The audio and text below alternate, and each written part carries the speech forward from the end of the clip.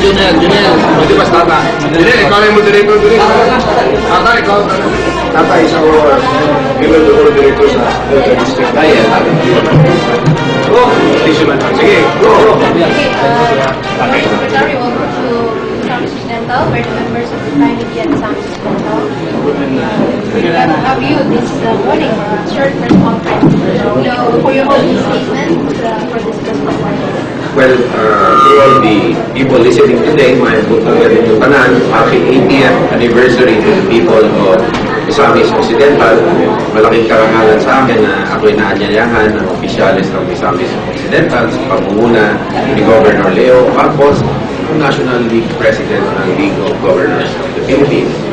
At uh, tayo po'y natutuwa dahil uh, Misamis, ang progreso dito sa Misamis Occidental ay kahanga-hanga at sana ay tuloy natin itong pag-uugnayan ng national government at ng provincial and local governments para sa ganon ma-secure natin ang tunay na kapayapaan dito sa Mindanao kasi napaka-importante ng kapayapaan ng Mindanao hindi lang para sa tiga Mindanao kundi sa buong Pilipinas kasi dito nakasalig ang inabukasan ng ating bansa.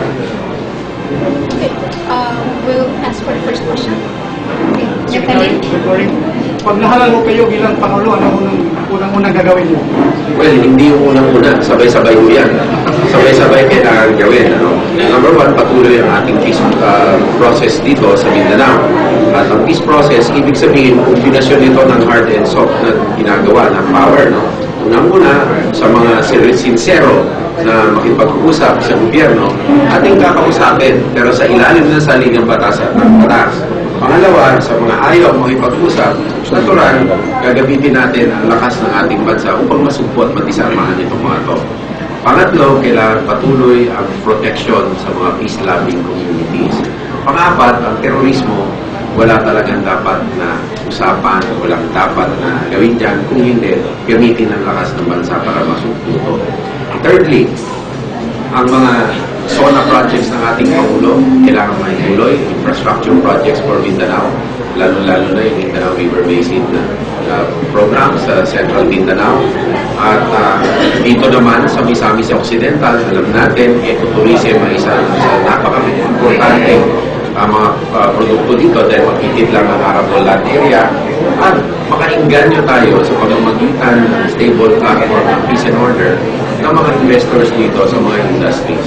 Pero may meron pa akong isang gagawin. Unang-una din, ihingin ko sa Kongreso na magpanday sila ng batas. Maggawa sila ng sa kabalaod para sa Constitutional Convention. Para sa ganon, maka-advocate tayo sa pamamagitan ng Constitutional Convention ng political and uh, economic and social changes sa ating. Yes, yes, sir. Uh, sir, uh, good morning. Uh, may we know the latest update uh, regarding the kidnap ICRC? Well, there are still operations ongoing, and uh, today we have no new reports to give, but there are still efforts, uh, severe, uh, heavy efforts uh, being undertaken to secure, uh, Mr. Paji, the remaining ICRC hostages. More important than that is Secretary Puno, nandiyan po siya sa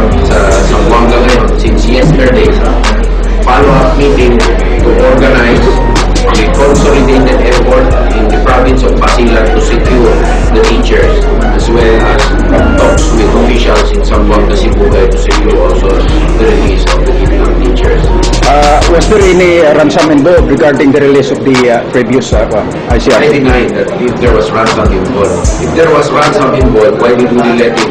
Why, why should have it? Uh, have it uh, why should it have run on this law? Di sana ang imano na lang sana ang diyaran doon.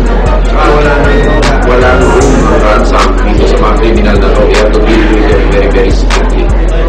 Secretary, kalsado na ba yung partido mo from the national level down to the local level in terms of Hindi, ang, ang sinabi ko ay wala pa naman na-declare na sila ay talagang kandidato right now.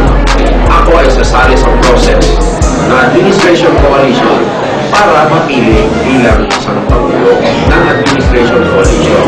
At yan ang tinatrabaho ko within the coalition. Kasi kung solo flight lang, kung solo flight dito, walang mangyayari. Kailangan mo may isang leader na talagang boses ng nakararami sa administration coalition na siya mag-uugnay at mag-unite sa lahat. That when President Maxes he was uh, ah, Secretary of National Defense, popular was his campaign against the law. Now, it so happened na yung mga Muslim or really problem in South during the time. Now, Ask, wala tayong problem wala ko tayong problema sa hook dahil matagal na kung walang, walang hook. Eh, ipipili. Yung napunta ko kasi yung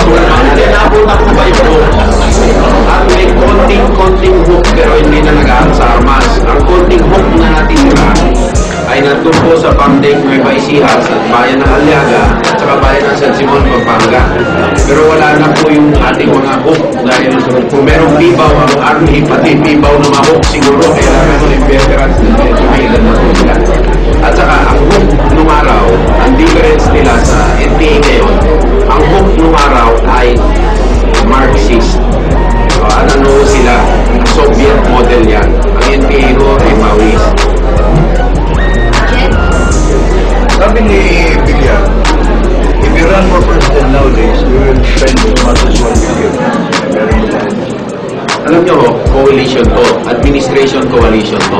At pag pinag-uusapan ng eleksyon sa larangan ng pera, ito'y nakakamura ng eleksyon, ang kahalaga ng eleksyon. Lalo na sa mga Pilipino, pinakaseryoso ang eleksyon, hindi lang po sa Luzon, sa Visayas, also sa Mindanao. Ngayon, kami po, ay nas, kaya nga sinasabi natin, ano ano, process for selecting the administration candidate. Kaya magtutulong-tulong naman kami, mag-aambag-ambag. Mas maganda yung piso na galing sa maraming tao kaysa sa isang bilyon galing sa Victoria, considering that governors have important victory. Hindi ko naisip na ang president ng governor malagay mo sa sinigay. Yan mo ay magiging yan mo ay magiging usapan ng intero na administration coalition. Ngayon, kung tinatanong nyo sa akin, pwede ba si Governor Leo Campos mag-senador? Hindi lang senador, ah. mas mataas pa dyan, pwede pa. Pero, ah, senador, bagay na bagay din si Governor Leo Campos dyan dahil napatunayan na niya na siya yung leader ng buong Pilipinas. Magiging leader ng provincial. Pakpak mo, pakpak. Pakpak.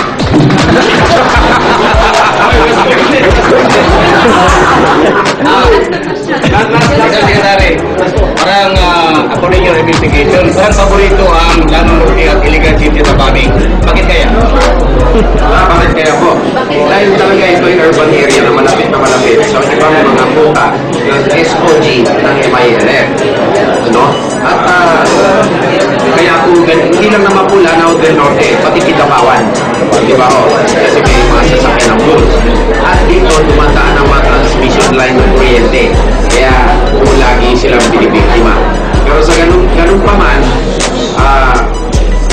ay talagang hinahalos na katulong sa kababantay dyan para lang mas masigurar ang ating mga kababayan sa iligan. Pero kami po ay nakahandang lalo pang tumulong sa local government officials na maproteksyonan nila ang siyudad ng iligan. Dahil ang proteksyon ng anumang komunidad, primary responsibility